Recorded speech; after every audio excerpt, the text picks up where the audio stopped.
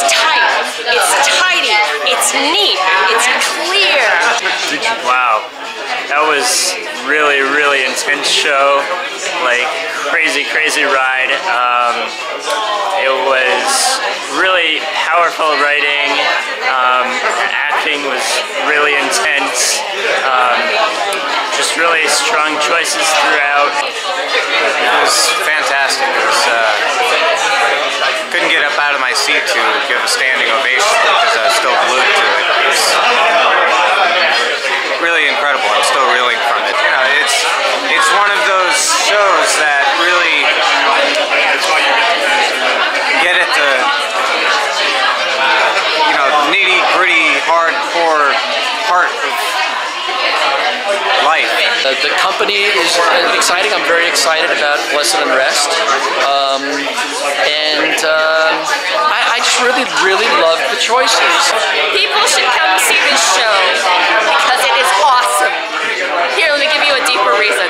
It's uh, it's got an amazing ensemble cast.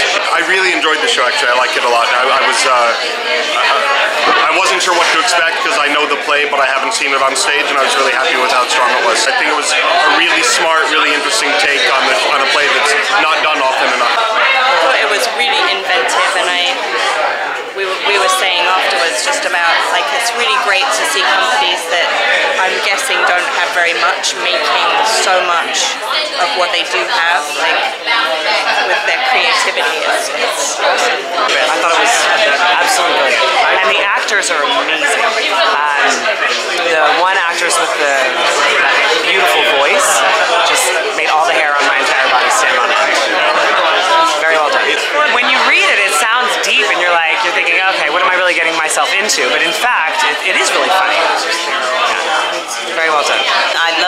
characters really, um, the actors brought the characters to life. It was just so real. It was wonderful seeing the actors bring their passion to the audience. You could really feel and become a part of what was going on on the stage. I just thought they did a wonderful job.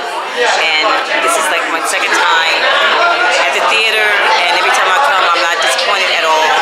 The audience really uh, connects with the actors. I just thought it was amazing